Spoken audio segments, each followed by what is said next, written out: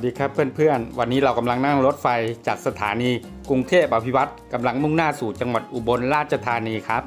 รถออกประมาณ7โมง10 นาทีนะครับ จะถึงอุบลก็ประมาณ6โมงเย็นพอดีนะครับ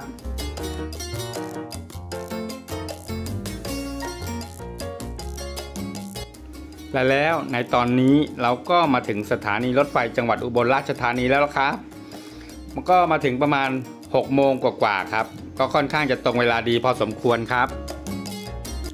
และแท็กซี่ก็ได้พาเรามาที่พักใจกลางเมืองอุบล คือโรงแรมผาแดงครับ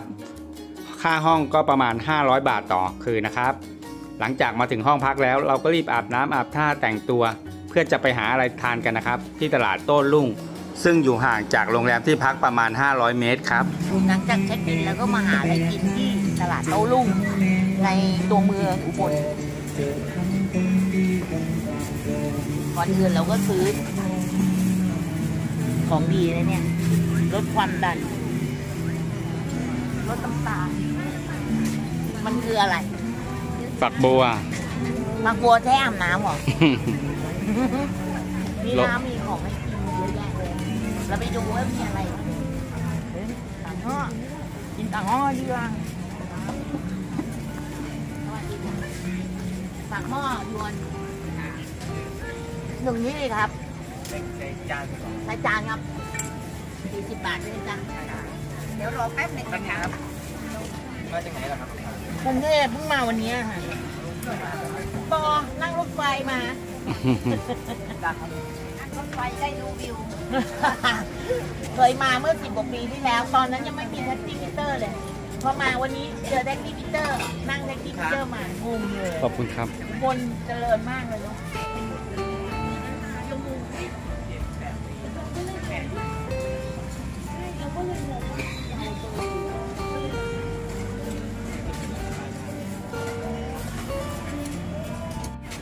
จำยวนตีนไก่หมูเด้งกระดูกหมูใส่ทุกอย่างเลยถ้วยหนึ่งเออเอาธรรมดาเนอะเท่าไหร่จ๊ะ ว่าได้ห้าสิบหรอจ๊ะอ๋อทุกอย่างกระดูกหมูตีนไก่หมูยอหมูเด้งหกสิบจ้ะจ้าขอบใจจ้ากินนี่นะเดี๋ยวมาแล้วแต่งไข่ไงอะสามห้าสามถึงร้อยแล้วรสมันเหมือนกันเหรอตัวสีม่วงจะหวานมากสีอันไหนหวานน้อยอันไหนอ๋อสีม่วงหวานมากใช่ค่ะเขียวหวานอันไหนอร่อยกว่ากัน ฮะเนี่ยอะไรนี่ขายดีกว่าใช่ไหมว่าแล้วเชียวถ้าถามเขาไหมเออทำไมไม่มีหอมเจียวล่ะคะเนี่ยเดี๋ยวไปถาม อันนี้หกสิบอันนี้สี่สิบน่ากินนะคะพ่อค้าพ่อค้าเอามาให้ใส่เองเลยดูดิเมื่อไหร่ตลาดโต้รุ่งเขาจะติดแอร์เออ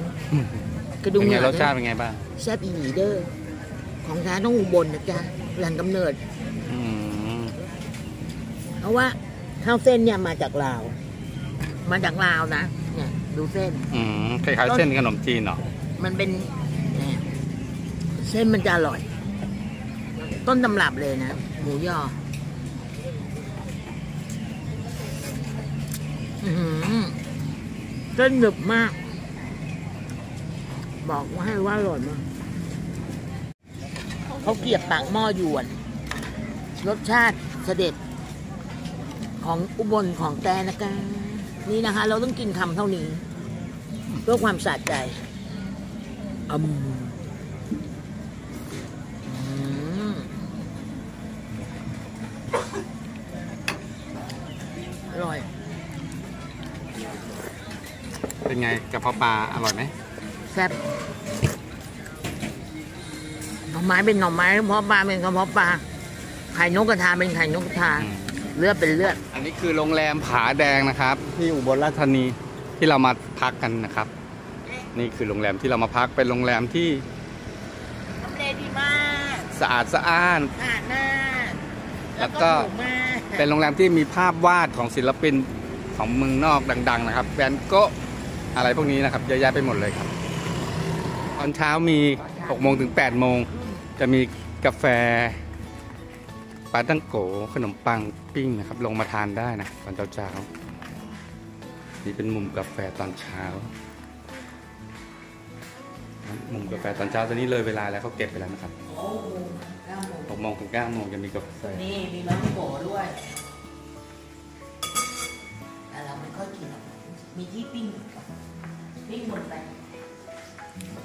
อ่าเตรียมเดินทางต่อกันดีกว่า ชีวิตนักเดินทางอย่างเรา นี่ครับแบ็คแพคเกอร์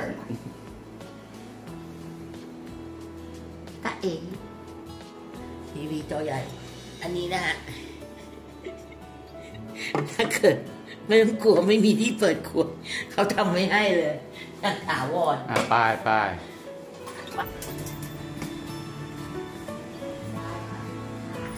เราก็นั่งแท็กซี่มิเตอร์จากโรงแรมที่เราพักนะฮะผ ไปบขสเพื่อไปขึ้นรถรถตู้ที่ขนส่งเขาว่ามีออกทุกๆ40นาทีหรือชั่วโมงหนึงเนี่ยอ๋อจะไปรถตู้เหรอไม่จะไปขนรถส่งบัสรถบัสหรือเปล่ารถบัสรถบัสไปทางตระการนะเอ้ยไม่ขนส่งนะขนส่งอยู่แล้วล่ะแต่ว่ารถบัสใหญ่นั่นมันจะไปทางอำเภอตะการอ๋อถ้าถ้าเป็นรถตู้มันจะไปทางอำนาจอ๋ออ๋อ มันจะวิ่งคนละเส้นเหรอตอนนี้เราอยู่ที่ขนส่งของอุบลราชธานีนะครับ เดี๋ยวเราจะไปต่อที่เขมราช นี่รถที่เราจะขึ้นไปเขมราชนะครับ เป็นรถบัส รถบัส คนละร้อยคนเอ่อค่าโดยสารคนละร้อย เอ่อรถตู้ก็มี ระยะทางจากอันนี้ไปไม่อ้อมนะฮะไปตะการแล้วก็ไปถึงราชถ้าไปตะการ50บาท ถ้าไปเอมราชก็ร้อย ตอนนี้เราก็กำลังเดินทางโดยรถบัสไปที่เขมราชกันนะครับกำลังเดินทางไปเขมราชรถออกจากบขสอุบลเวลาบ่ายโมงครับ ก็มาถึงเขมราชแล้ว ตรงนี้จะมีที่จัดถนนคนเดินในวันเสาร์นะครับสุกร์ศุกเสาร์อาทิตย์อะไรนี้ นี่ในเมืองของเขมราชเดี๋ยวจะไปหาที่พัก เดี๋ยวจะเดินทางหาที่พักดูชุมชนเขมราช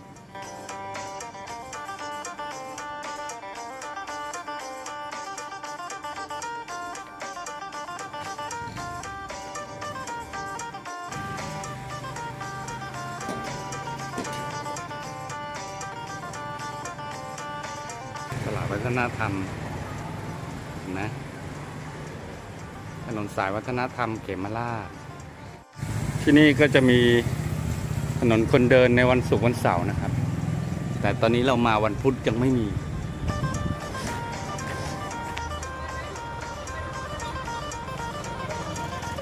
วัดโพพระเจ้าใหญ่องค์แสน ที่เขมราชนะครับอืมอยู่ทางหน้าวัดมีพระองค์ใหญ่ เนี่ยค่ะเราเป็นครับชอบแบบเกียร์ออโต้ขี่ไม่ค่อยเป็นอันนี้นะคะเราก็ครับเจ้าของรีสอร์ทเขาก็ให้ยืมมอเตอร์ไซค์ไปขี่เล่น เที่ยวที่เขมราฐ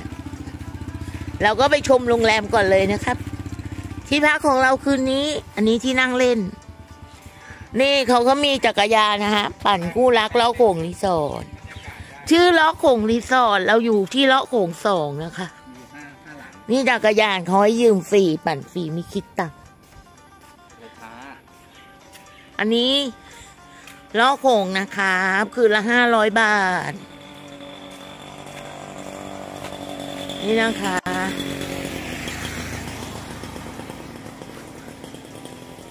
อันนี้มีห้าห้องเองเขาเปิดมาได้หกปีนะคะ เข้าปีนี้นะหกปี อันนี้เล้อโขงค่ะเราอยู่ที่นี่นะคะเล้อโขงสองนี่เล้อโขงนะครับ ที่พักดีนะคะ สะอาดสะอ้านแอร์เย็นเจี๊ยบเรากำลังจะพาชมจิตรกรรมฝาผนังไปนะคะ ค่อยๆดู วัดอะไรนะ วัดโพเรออันนี้จิตรกรรมปะดูนะฮะโอ้โหพญานาคสวยมากนี่วัดโพเดียวนะคะ มีพระพุทธรูปสวยมากันนี้เขมราชสิบแล้วก็รูปรถเมล์รูปเหมือนที่เรานั่งรถมาเลยนี่ก็พอสองห้าหกนี่เขมราชดินแดงแห่งเกษมสุข นี่นะคะ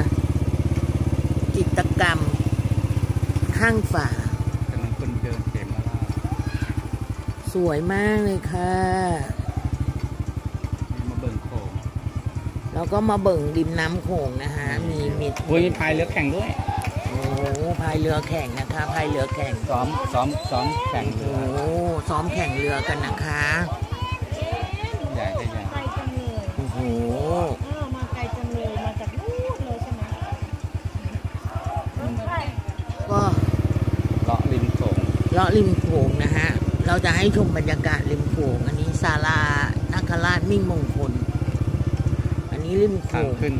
เรือจับตังลาวริมโขงนะฮะ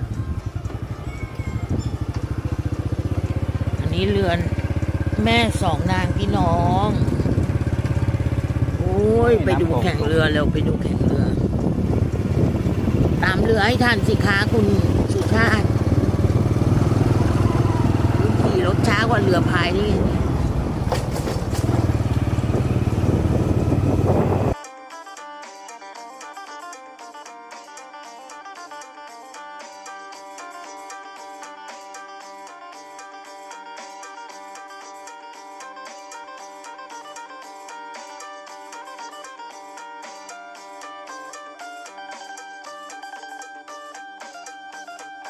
เร็วตามเรือไปเร็ว อุ้ยเรืออยู่นี่ จุดสตาร์ทจุดสตาร์ทเราตามเรือมา นี่ถนนสายสุขภาพ ห้ามรถเข้านะคะ ห้ามรถเข้า อุ้ยมีวัวเต็มเลยอุ้ยวัวเต็มเลย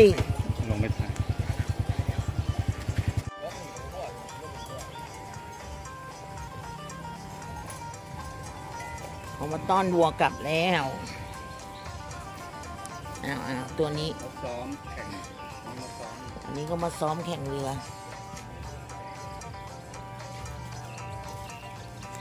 โอ้น้ำโขงไหลแรงนี่เขาว่ายให้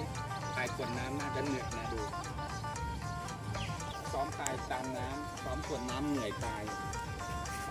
รู้ได้ไงเคยพายเหรอ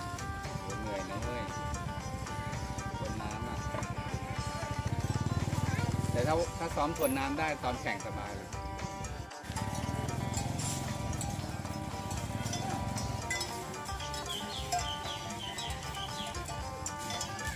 อันนี้นะคะยามเย็นนะ หลังจากเราได้มอเตอร์ไซค์จากที่พักนะคะที่เจ้าของแสนใจดีให้เรายืมขี่นะคะเราพักที่ไหนนะล้อโขงเจ้าของล้อโขงอะใจดีจังเลยเขาให้เรายืมมอเตอร์ไซค์ขี่เที่ยวด้วย เราก็เติมน้ำมันให้เขาเต็มเลยนะคะก่อนส่งรถคืน นี่นะคะ ยามเย็นที่เขมราช ก็ร่มรื่นนะคะ เป็นเป็นอำเภอเล็กๆนี่พิพิธภัณฑ์บ้านขุนอันนี้สวยจังเลยอะบ้านเนี้ย เนี่ยบ้านโบราณเนี้ยอยู่หัวมุมเลยเนี่ย เป็นเมืองที่น่ารักอีก เมืองหนึ่งนะคะ เล็กๆ ในจังหวัดอุบลราชธานี เมืองเขมราชนะคะ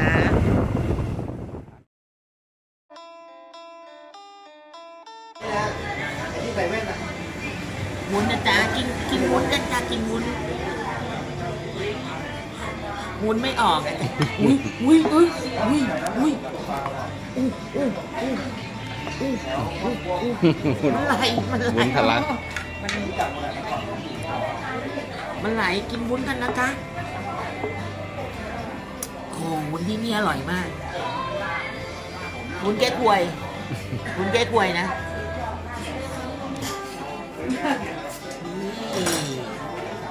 เทคนิคแล้วเราก็มาถึงแล้วครับแล้วก็วัดทุ่งขี่ขี้เหล็กรถมาถึงวัดบุ้งขี้เหล็ก หรือลานพระขาว แหล่งท่องเที่ยวสำคัญของเขมราชแห่งหนึ่งนะครับ เราจะพาไปชมข้างในกัน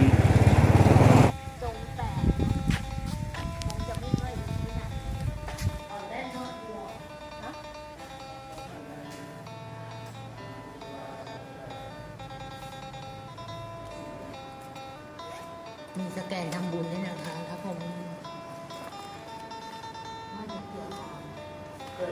ชั้นมีถึงเจ็ดชั้นนะครับ นี่เขาก็จะบอก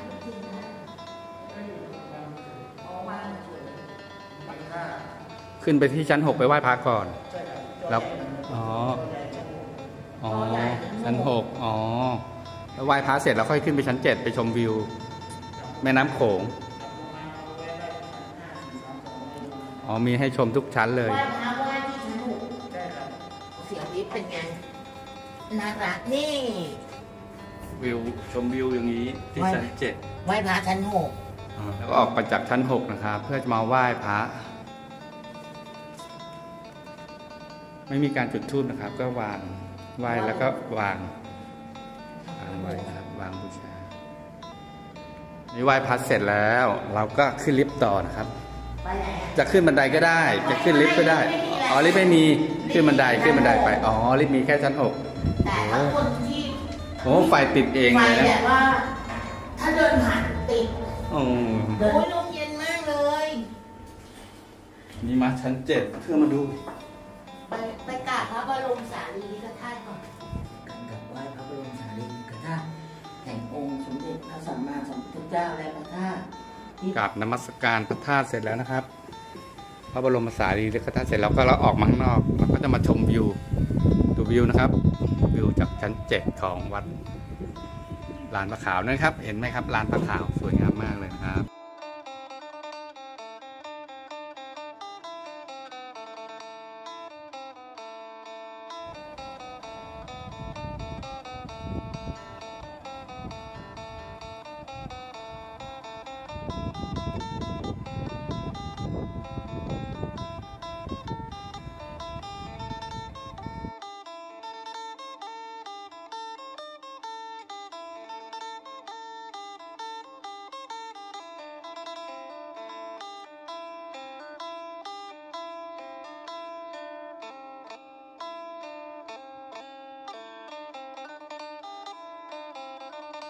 แต่ตอนเนี้ยเราเจอฝนฝนตก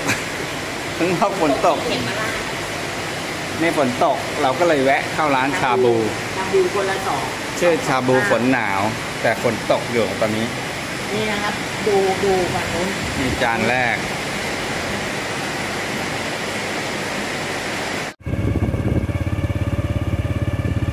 ชมบรรยากาศริมโขงนะคะ บ้านพักเราก็ติดโขงนะคะ เขมรานี่เป็นเมืองเล็กๆที่น่ารักน่าดูเล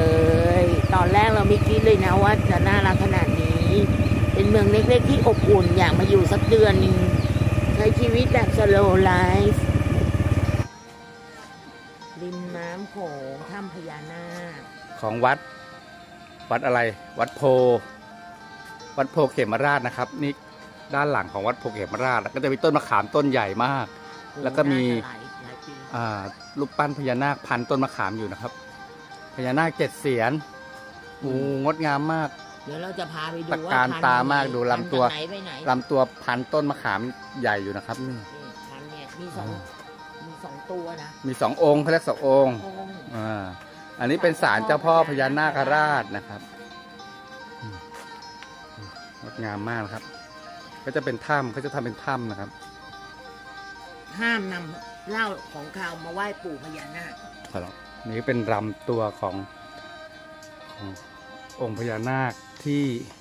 พันต้นมะขามนะครับ มีสององค์มีองค์สีน้ำเงินกับองค์สีเขียวนะครับนี่ครับโอ้โหมะขามต้นใหญ่มาก ดูนะครับสวยไหมครับงดงามตะการตา ก็เป็นพญานาคหน้าเป็นคล้ายๆสิงห์เนาะเนี่ยพญานาคหน้าตาเหมือนอะไร เหมือนสุพรรณหงส์ปะเหมือนอะไรเอ่ย เหมือนสิงห์นะนี่หน้าเหมือนสิงห์เดี๋ยวไว้โปรดแล้วก็ถ้า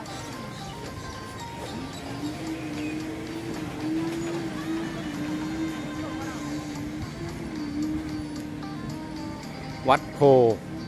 พระเจ้าใหญ่องค์แสนเขมราชมงคลง ดงามมาก นี่จะพามาเดินดูตลาดป่าที่เขมราชนะครับเขาบอกว่าจะมีขายของป่าของแปลกๆลองดูที่มีอะไรไหม่เอ่ย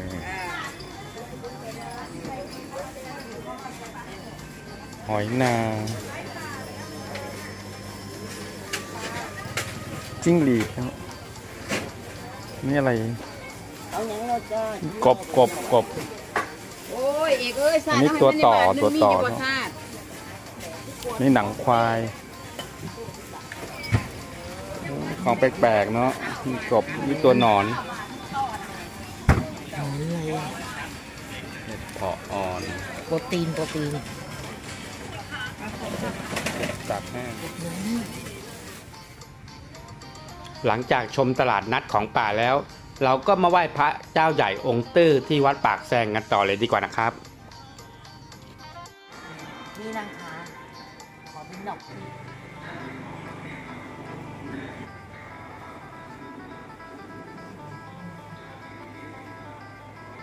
บอกห้ามยืนถ่ายรูปเนาะนี่องค์หลวงพระเจ้าใหญ่องค์ตื้อองค์แท้นะครับ องค์อืมในโบสถ์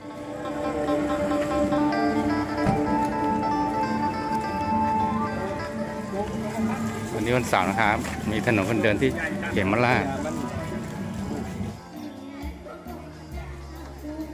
ถนนคนเดินที่เขมราช เป็นถนนคนเดินสายวัฒนธรรมครับ มีสินค้าพื้นเมืองของกินของใช้มากมาย และยังมีการแสดงฟ้อนรำพื้นบ้านที่หาชมได้ยากให้ชมด้วยนะครับ